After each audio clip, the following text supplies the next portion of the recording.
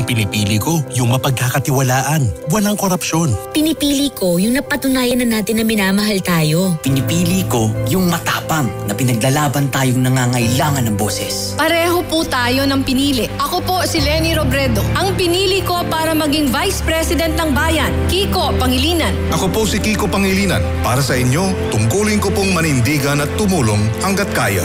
Ang pinili ko para maging Vice President ng Bayan, Kiko Pangilinan! This is a paid advertisement.